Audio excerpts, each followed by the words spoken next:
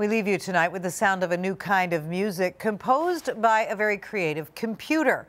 Researchers in Toronto have built a program that uses images as inspiration to write some very unusual songs. It's where algorithm meets rhythm. Or does it? Here's CTV's Peter Akman on the music in the machine. In this nondescript office in a building at the University of Toronto, original music and lyrics are being created.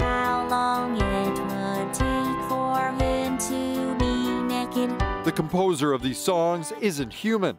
They've been created by artificial intelligence, its inspiration, any image inputted into the program.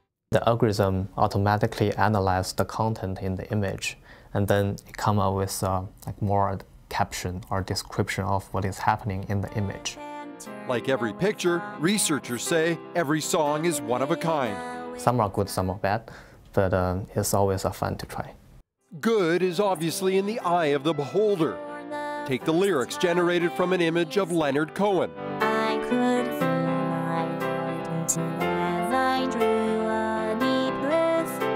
Or the program's response to a picture of Toronto's skyline. And finally, an image they pulled of me from the Olympics.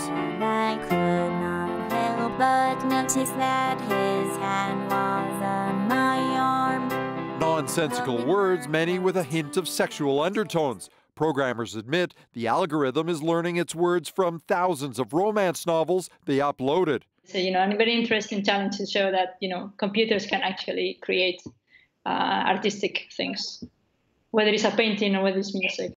While they're trying, programmers doubt their algorithm will ever replace the real thing. You know, I don't think people could connect with songs written by machines, by robots, as much as they connect with what people write.